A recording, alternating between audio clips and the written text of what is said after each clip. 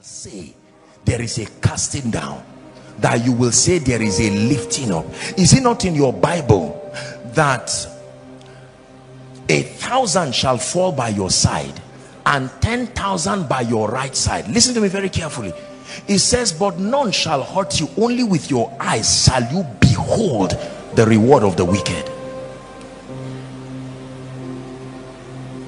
If you allow fear to get to you it will destroy you ladies listen to me. They have told you the moment you get to 28 29 30 certain things start happening to your system. You can believe it.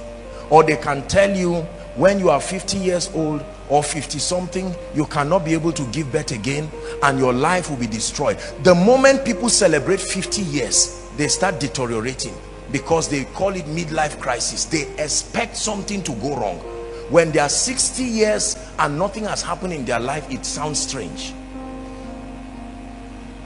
Fear. Fear. The spirit of fear. There are many of you today who cannot rise to do certain things because fear has told you we are ordinary people. We are weak people. Let me not embarrass myself. Let me not disgrace myself. But god has not given us the spirit of fear but the spirit of power the spirit of love. Listen let me tell you this. I pray for you that the love of god will truly be a revelation in your heart. Hmm. he said i have loved you with an everlasting love and i have drawn you with my loving kindness. I have loved you unashamedly with an everlasting love and I have drawn you with my loving kindness what shall separate us from the love of God? You, you have to know why Paul is teaching these things. What shall separate us? Then he begins to list all the things that you think can separate you from the love of God. Famine wars etc I say nay in all these things we are more than conquerors by the revelation of the love of God so when the devil tries to project fear the revelation of who God is listen and the fact that he loves me that the jealousy of God is an investment upon my life. When you know this like you want to hurt a little child and he will run to his father you see some of these are little ones. They run all around and with confidence. They jump on you and they expect you to hold. The bible says trust in the lord trust in the lord. Listen with all your heart and lean not on your own understanding. The word trust is the word bata. Is the word that gives an expression of someone jumping hoping that the father will hold you. To take away all the limitations and just throw yourself at god and say lord i know that you are able to hold me.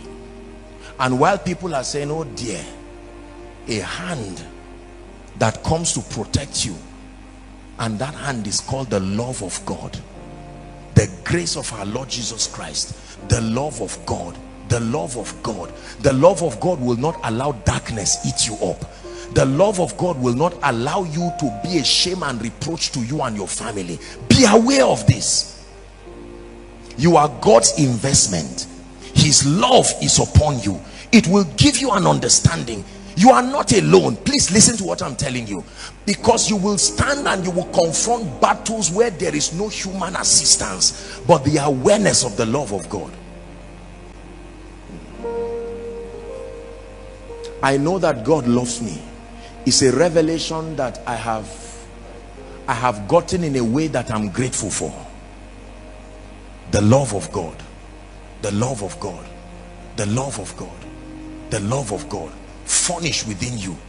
If there is one person god will favor on this earth is me. I know. It's because of his love. I don't know how far between you and him but i know. He has drawn me into the inner chamber of his love. Like the king tells esther come what do you want even up to half of my kingdom? This is my mentality when i pray. This is my mentality when i talk. There is no fear that's why sometimes I can tell you, ah, there's someone outside there. Do you think it's just because I'm seeing a vision? This is a risk. You don't stand before the whole world and speak stupidly like that. What if nothing happens? And nothing happens again.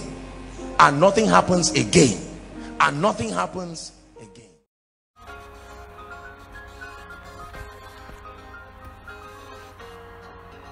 God bless you. Stay blessed. For more of our resources, follow us on our social media handles.